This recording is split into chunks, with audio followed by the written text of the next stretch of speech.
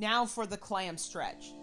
Lying on your back with your hips and knees bent and feet together, slowly lower your knees and hold the position for the desired amount of time.